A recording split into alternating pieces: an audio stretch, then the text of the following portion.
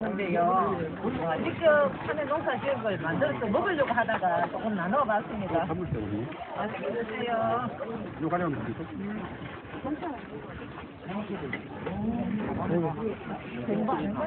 그러니까.